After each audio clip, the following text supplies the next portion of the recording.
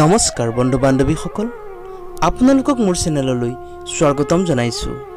বন্ধু বান্ধৱীসকল আপোনালোকৰ ঘৰত যদি জবা ফুলৰ গছ থাকে তেন্তে এই কথাটো মনত ৰখা উচিত।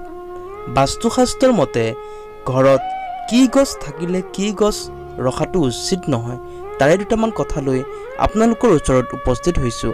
সেয়েহে বন্ধু বান্ধৱীসকল মোৰ চেনেলটো যদি এতিয়াও আপোনালোকে ছাবস্ক্ৰাইব কৰা নাই তেনেহ'লে সোনকালে ছাবস্ক্ৰাইব কৰি দিয়ে যেন আৰু লগতে থকা বেল বুটানটো টিপি দিব যাতে মোৰ নতুন নতুন ভিডিঅ'সমূহ আপোনালোকে ন'টিফিকেশ্যনৰ দ্বাৰা পাই গৈ থাকে। তেন্তে আহক বন্ধুসকল আমি ভিডিঅ'টো আৰম্ভ কৰোঁ। বাস্তুশাস্ত্ৰৰ মতে বাৰীত তাল গছ আৰু শাল গছ একেলগে লগাব নালাগে। যদি বাৰীত তাল গছ থাকে শাল গছ নলগাব। আৰু শাল গছ থাকিলে তাল গছ নলগাব। এই তাল আৰু শাল বাৰীত একেলগে থাকিলে ঘৰত অশান্তিৰ সৃষ্টি হয় আৰু সদায় বিবাদৰ সৃষ্টি হ'ব পাৰে। সেয়েহে দুইডাল গছ ঘৰত একেলগে কেতিয়াও নৰখাব। এনেই গছ একেলগে থকাটো অমংগলৰ চিন। দুই নম্বৰতে আপোনালোকে হয়তো সকলোৱেই জবা ফুল ভাল পায় আৰু আপোনাৰ ঘৰত জবা ফুল লাগি আছে।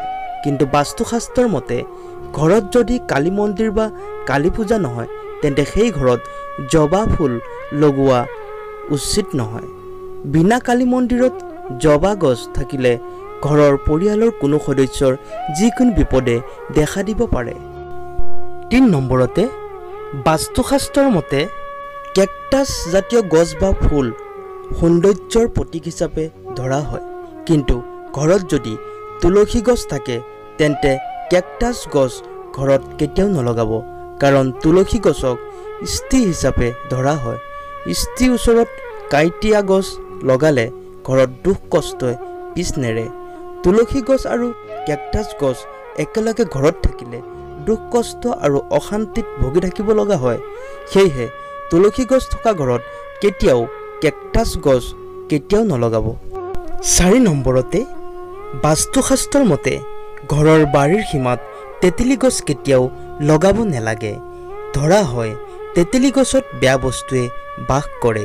সেয়েহে ঘৰৰ সীমাত কেতিয়াও তেতেলী গছৰ পুলি লগাব নালাগে। ঘৰৰ সীমাত তেতেলী গছ থাকিলে ঘৰত অমংগল হয়। কিয়নো সেই তেতেলী গছত থকা বেয়া বস্তুৱে কেতিয়াবা আপোনাক অপকাৰ কৰিব পাৰে। সেয়েহে এনে গছ ঘৰত ৰখাব নালাগে। বাস্তুশাস্ত্ৰৰ মতে এই কথাখিনি মানি চলিলে ঘৰৰ মংগল হ'ব। আজিলৈ ইমানেই। ধন্যবাদ।